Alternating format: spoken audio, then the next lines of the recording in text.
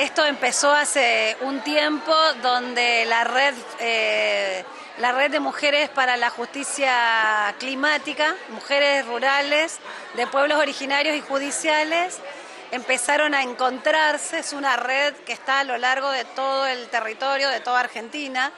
Los superiores tribunales de toda Argentina asumieron el compromiso de ir sumando mujeres. Ya hay más de mil mujeres en la red y bueno, Chubut no quería quedar afuera, así que se, comprometió para hacer este encuentro del 8 de noviembre. Eh, yo empecé a invitarlas, fui a los territorios a hacer las invitaciones a, bueno, hay mujeres hoy acá que han hecho más de 500, 600 kilómetros, que vinieron desde Cusamen, Gastre, Gangán, eh, de Camarones, de Comodoro, del Chalía, de Sarmiento y cada una vino, digamos, a contar un poco qué es lo que está ocurriendo en, sus territorios. No solamente lo que hacen, porque mucho de lo que le pedimos era que vengan a contar las actividades productivas que están realizando.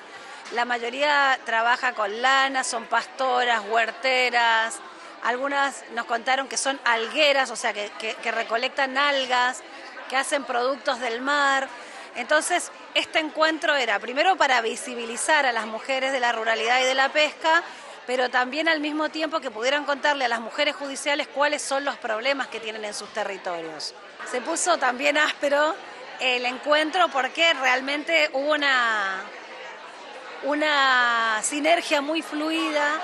y algunas contaron e interpelaron acerca de bueno, la problemática que tienen con el agua, la problemática de la de la actividad propia del ganado, la ganadería, las marcas y señales, eh, situaciones con la justicia de paz, situaciones con la justicia de familia. Eh, bueno, muchas contaron todo el tema de su medicina ancestral. Bueno, la verdad que realmente fue extraordinario